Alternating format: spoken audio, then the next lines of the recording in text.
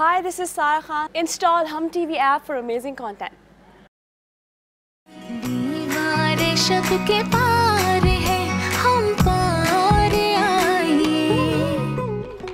जोया का रिश्ता तय कर दिया बहुत ही अच्छे लोग हैं बहुत अच्छा घराना है और एजाज इकलौता है। आज ही मैंने हाँ की है सबसे पहले मैं आपको मिठाई देने सार आयाम खाला फिरोजा का बेटा है ना? मिठाई नाश्ते में? अरे ये जोया के रिश्ते की मिठाई यहाँ पड़ी है। के